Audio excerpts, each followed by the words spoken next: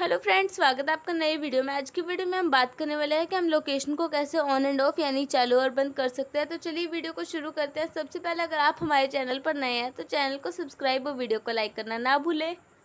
जैसे कि आप लोग देख ही रहोगे यहाँ हमारे पास ओप्पो का फ़ोन है। आपको ऊपर की साइड स्क्रॉल करना आप लोगों को जाना होगा। सेटिंग पर सेटिंग पर क्लिक कर देंगे। सेटिंग पर क्लिक करने के बाद आप लोग यहाँ बहुत सारे और ऑप्शन देख रहे होंगे।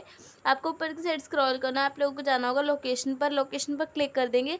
लोकेशन पर जैसे आप लोग क्लिक करेंगे, आप लोग देख ही सकते होंगे। लोकेशन आपके फ़ोन में पहले से बंद है। अगर आप लोकेशन को चालू करना चाहते हैं तो आप इस तरीके से इसे चालू कर देंगे। लोकेशन को चालू करने का मतलब ये है कि अगर आप किसी को भी अपनी लोकेशन भेजना चाहते हैं या लोकेशन चेक करना चाहते हैं तो आप इस तरीके से कर सकते हैं। तो अगर आप लोकेशन को बंद करना चाहते हैं तो आप इस तरीके से बंद कर देंगे। और इसका मतलब ये है कि अब आप किसी को भी अपनी लोकेशन नहीं भेज सकते और नहीं अपनी लोकेशन देख सकते हो कि आप लोग कहाँ पर हो।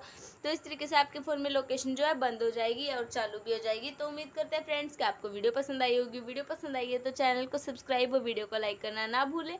मिलते हैं नेक्स्ट वीडियो में तब तक के लिए बाय बाय